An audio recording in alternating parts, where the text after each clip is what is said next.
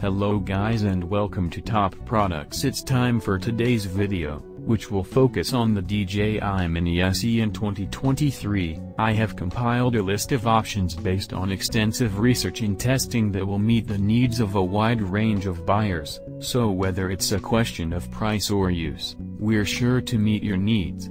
For more information, I have included links to the products down below, which are updated for the best prices. Like the video comment, subscribe now and let's get started. The DJI Mini SE aka the best value mini drone on the market in 2022 is the best value mini drone on the market. For beginners looking for a great way to use their camera on their next shoot, this little tech tool is the best choice. It lets you learn how to fly the drone on specific routes and use different modes to make videos. With DJI's apps, you can be guided through a drone tour with all the tutorials. DJI's mission is to make drones accessible to all.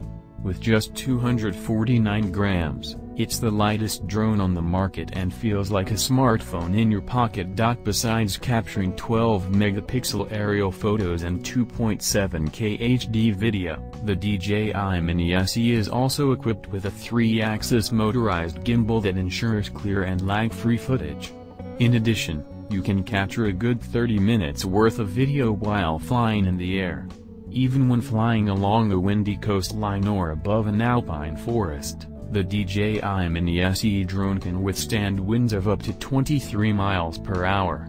Aside from all the tutorials and guides DJI offers, the DJI Fly app contains a wide variety of templates for creators, so it is an excellent experience for beginners. In addition to all the tutorials and guides, DJI also offers the DJI Fly app, which has a maximum height of 10,000 feet. Users are able to capture complex footage with the DJI Mini SE, but they also point out some shortcomings, such as the low-resolution video.